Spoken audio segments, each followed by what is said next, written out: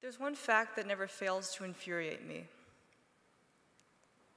That fact is that every day 150,000 people die of a disease that we ignore. I remember when I was eight, deciding that I wanted to work on curing aging. And it was watching my grandma um, suffer the aches and pains of chronological age. Watching her try to play with my brother and I when wobbly knees and arthritic joints made playing painful. I remember very clearly the deaths of three grandparents, three amazing grandparents, from this awful, inexorable progression of aging damage that we've somehow come to view as something normal, natural, and beautiful to be celebrated. At least outside this room, that seems to be the consensus. And growing up as a little eight year old kid in New Zealand, that's the only answer I could get when I asked, why? Why do things have to be this way? Now, I can't understand now, and I couldn't understand then, why anyone wouldn't want to work on this problem.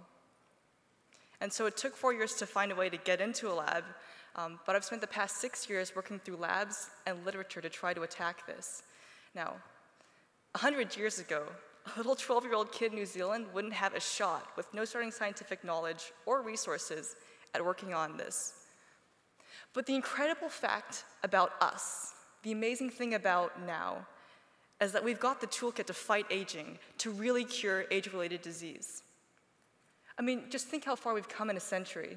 At the start, Schrodinger was trying to find ways to estimate the unknowable, mysterious area enclosing our genetic information carriers.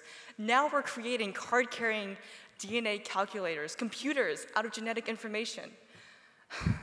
My God, we're watching the pathways that we worked on in worms turn into drug discovery programs in humans, and we're swapping biological circuitry like it's Lego blocks. Now, the problem in aging research is while we've got all these preclinical models that show therapeutic efficacy across age-related diseases, nobody's taking them toward the clinic. They're stuck on the shelf in labs. So that's the part of the process that I've chosen to work on. Finding and funding therapeutics that will change medicine by getting at the root cause of age-related disease.